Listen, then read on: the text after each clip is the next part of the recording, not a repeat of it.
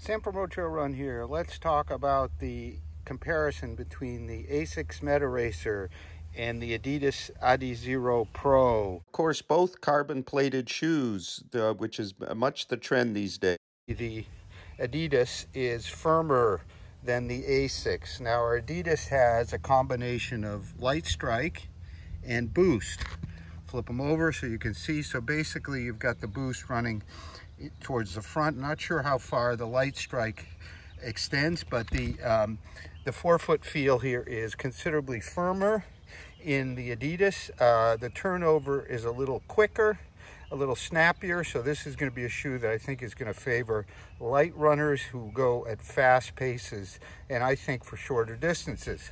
Now our Asics is quite a bit bouncier and more cushion, both at the heel and especially at the forefoot. It too has a carbon plate that's wishbone shaped in this general area here.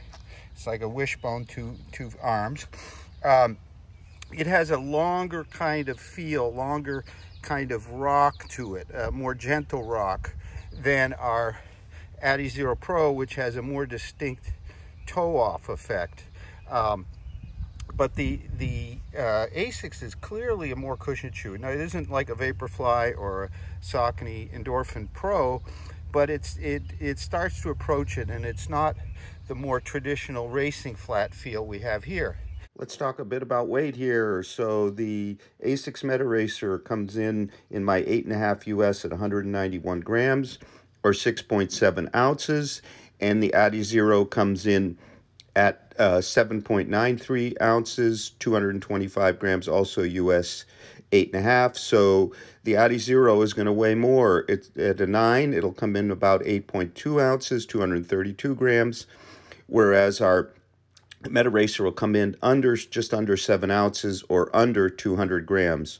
So in terms of drop, the Adizero has a 10 millimeter drop and the Meta Racer has a 9 millimeter drop. A pricing $200 for the uh, US for the Meta Racer and 180 for the Adizero.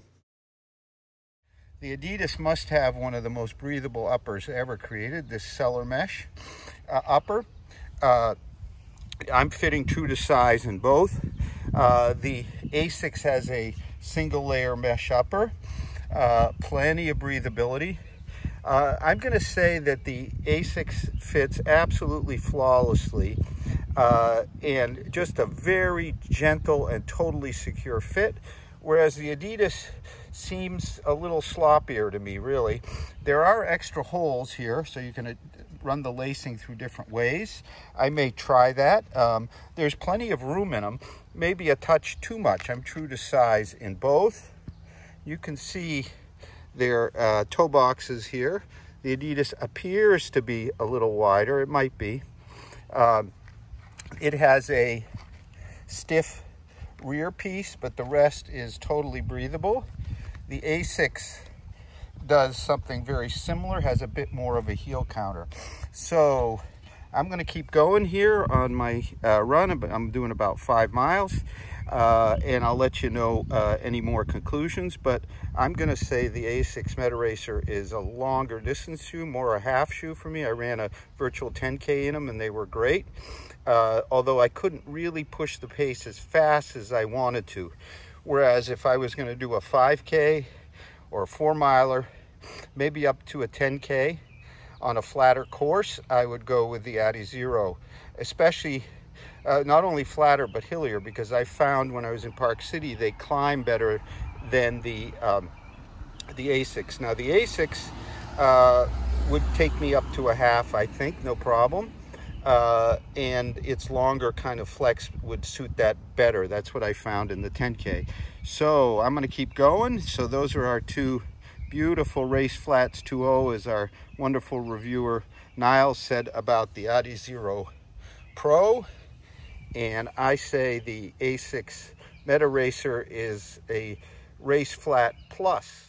Let's talk about fit. There's some really significant differences in the fit between these two, so let's uh, get into it. Um, the Adizero Pro is a little roomier uh, and maybe a bit too roomy as, as I find my foot a little bit slopping around. I think I should try the extra outside holes maybe. Uh, whereas the Asics fit is just absolutely sublime and perfect.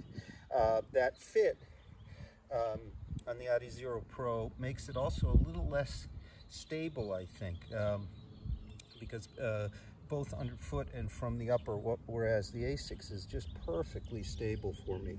Um, in terms of uh, the ride, talked a bit about that. Uh, we'll talk about that a bit later, but um, I find the uh, Asics super stable on downhills, but not quite as good a climber as the Adizero, which has more kind of spring off the front from its plate design.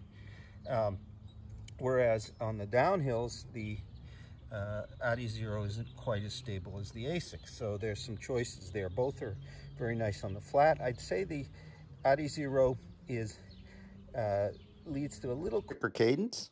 Um, that may be because of its plate shape, but also that firmer Lightstrike, which is definitely firmer than the FlyteFoam in our Asics, which has really a relatively soft forefoot in comparison. At the heel, the Adizero, uh, the Adi, um, Adizero reminds me of the Adios Boost quite a bit, um, maybe a touch firmer, whereas our Asics is definitely softer and bouncier, uh, but you don't lose any impulse from it. So more a the Adizero for me anyway, more a short, shorter distance shoe, maybe up, definitely up to 10K, whereas I would easily run a half in the Asics Meta Racer, but probably not a marathon.